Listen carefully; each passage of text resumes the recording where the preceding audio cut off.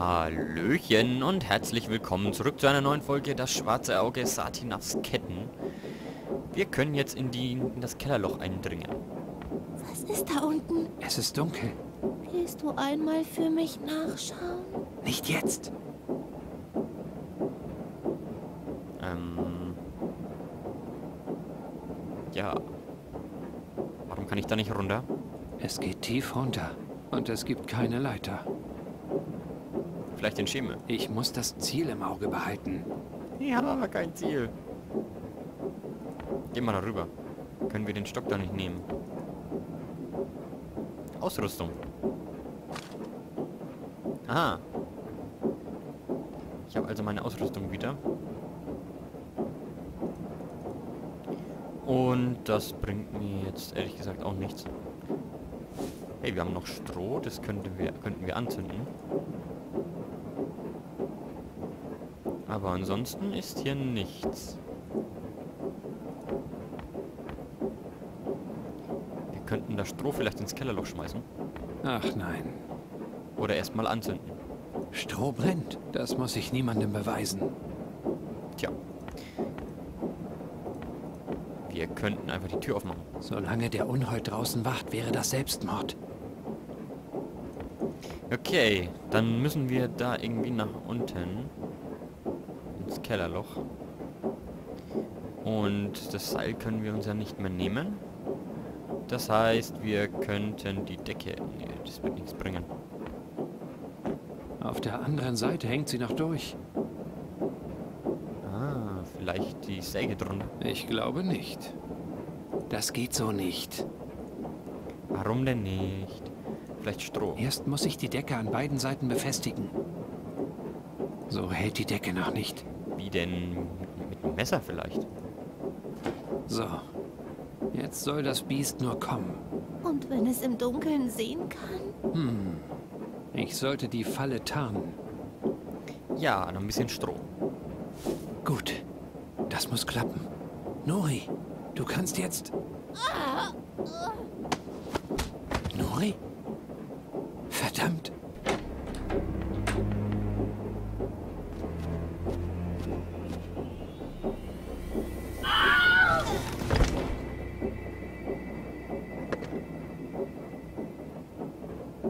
War dieser typische Ah-Schrei, den auch in, der auch in vielen Filmen vorkommt.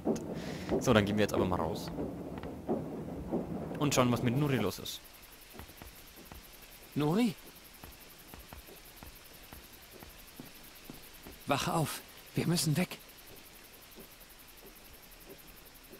Was? Wo bin ich?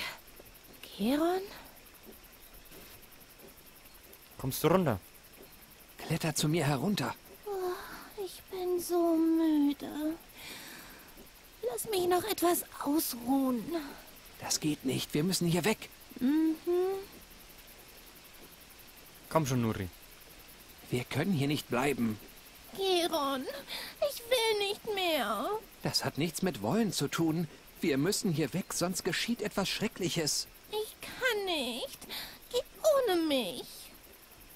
Nö, nö, nö, nö, nö, nö. Ich sag dir, was der Feenforscher zu mir gesagt hat. Ich habe den Feenforscher gesprochen. Ich weiß, wie alles wieder gut wird. Wirklich?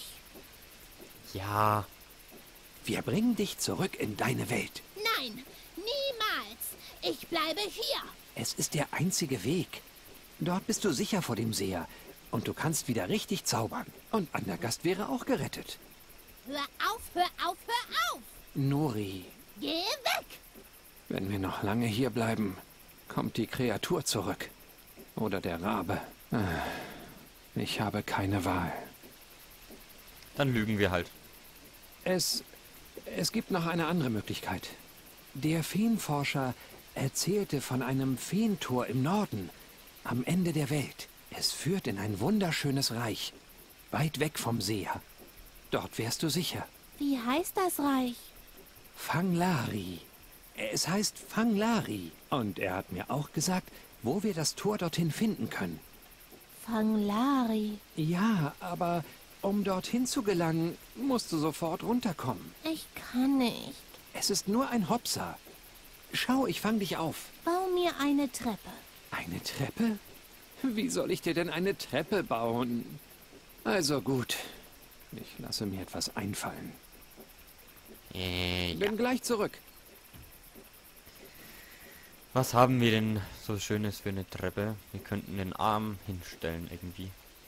Hatte schon bessere Einfälle. Wenigstens die Balken sind noch stabil.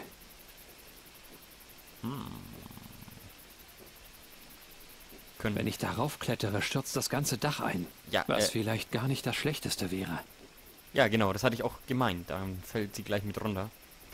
Wir hätten die Balken. An die Balken könnten wir Säge anbringen. Oder abschneiden. Schau, die Treppe. Komm jetzt. Ich weiß nicht. Ich möchte einfach nur schlafen. Nori, Erzähl mir mehr von Fanglari. Ist es schön dort? Ja, das Land Fanglari ist ein schönes Land. Fanglari ist ein Reich voller Magie. Der Himmel dort ist grün, wie die Weiden im Sommer.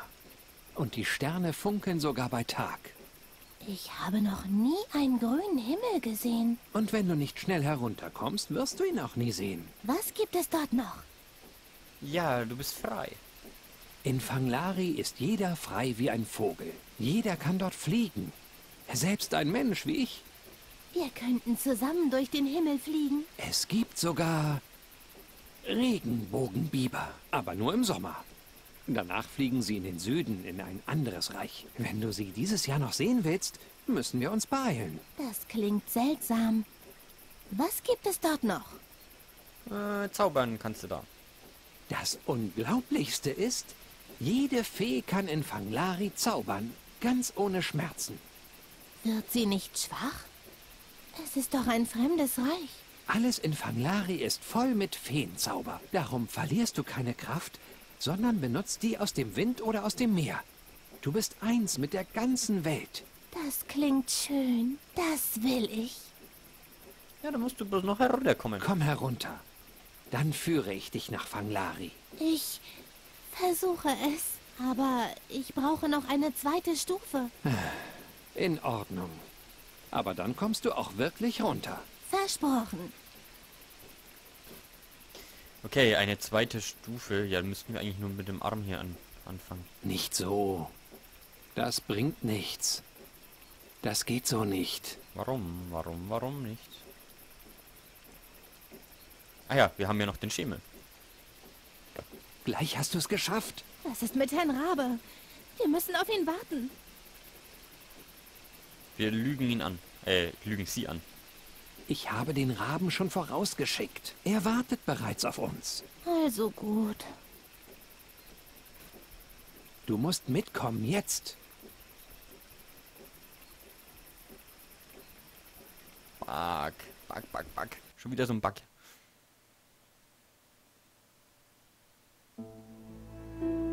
Gerons Worte gaben Nuri neue Kraft. Sie wollte alles wissen, was der Forscher ihm über das verborgene Reich erzählt hatte. Wo lag es? Hinter den Bergen? Hinter den Sümpfen? Warum war es so geheim? Sie stellte sich ein Land ohne Zeit vor, ohne Erinnerung und ohne Zukunft. Ein grenzenloses Land ohne Horizont. Gerons Lüge nahm Gestalt an und in Nuris Kopf entstand das verzauberte Reich Fanglari. Unterdessen trug der Fluss das kleine Boot nach Norden, der Schmugglerstadt Enqui entgegen, den stinkenden Schwefelseen der Brinaska Marschen. Selbst Nuri gefiel es hier nicht. Sie sah ein, dass sie Gerons Welt verlassen musste, solange der Seher hier nach ihr suchte. Das machte sie wieder traurig. Aber vielleicht konnte sie Geron ja mitnehmen. Warum nicht? Weil es unmöglich ist, Nuri. Ich muss nach Andergast zurück.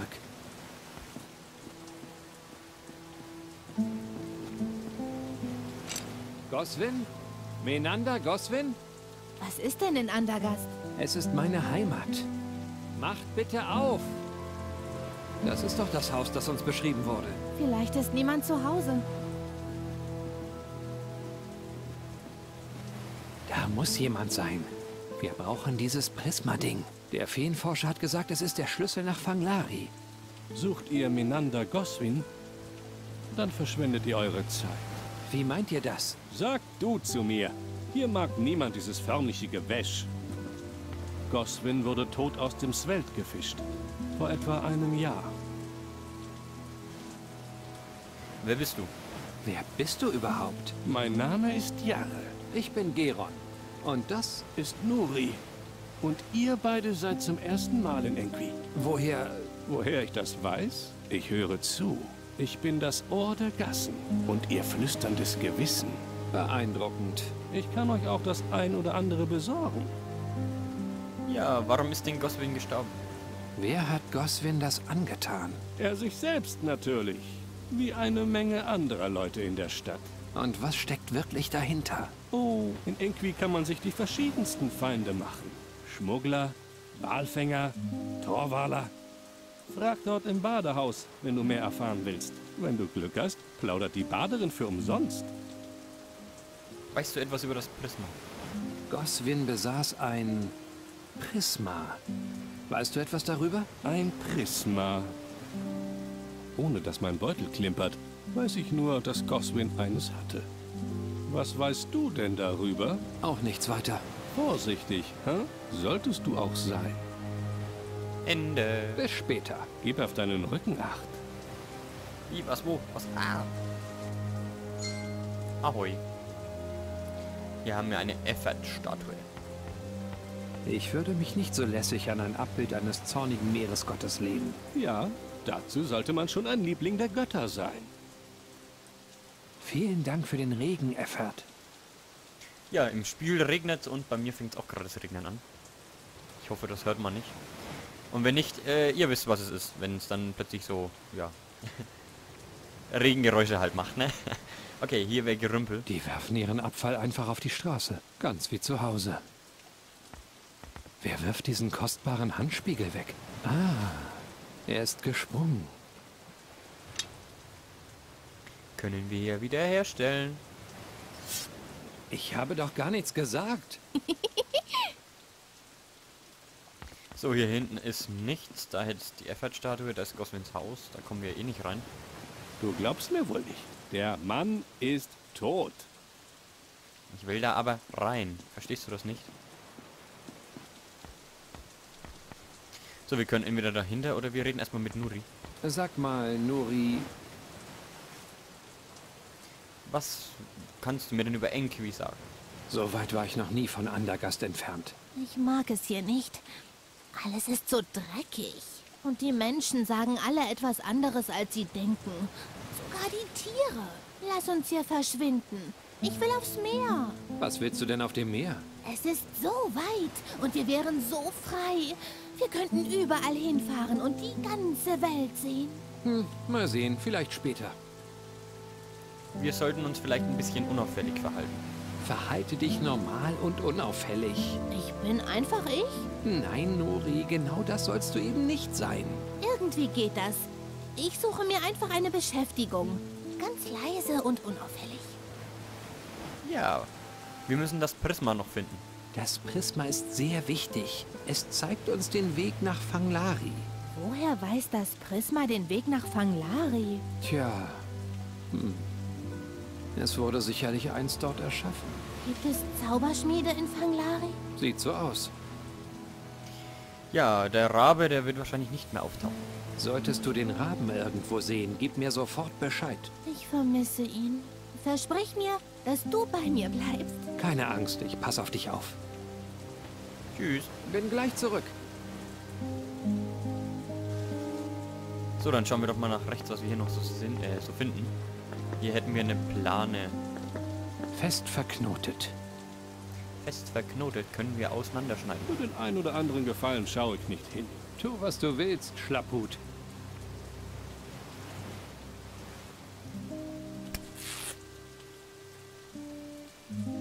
Ja, wir haben einen Enterhaken gefunden. So etwas habe ich noch nie gesehen. Dein Leben, nicht meins. Ja, genau. So, wenn wir hier weiter nach rechts gehen, haben wir hier noch eine Tür und einen Betrunkenen. Aber was es mit den beiden auf sich hat, also dem Betrunkenen und der Tür, beziehungsweise dem Haus allgemein, das seht ihr in der nächsten Folge. Bis dahin, tschüss!